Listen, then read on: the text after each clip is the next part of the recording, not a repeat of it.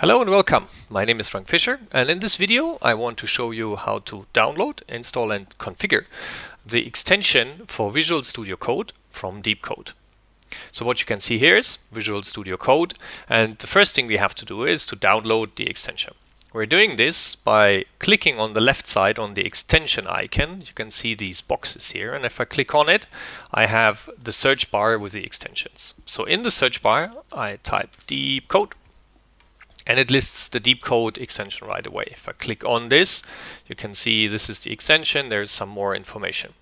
Here's the green install button and we are clicking now on install.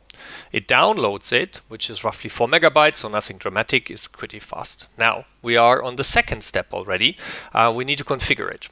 The first option is we are using the cloud backend, which is the free of charge offering of Deepcode to scan your code in the cloud.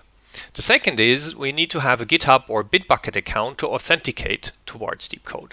So doing this, we click on the login button here and it brings us to this web page where we can define either a GitHub or a Bitbucket account to authenticate. So for now I will use a GitHub account, clicking on here.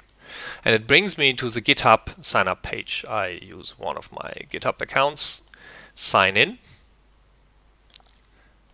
And here we are logging successful, and this was all what was needed.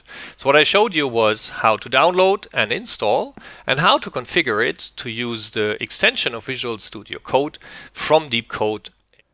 Thanks for watching, but now it's your turn.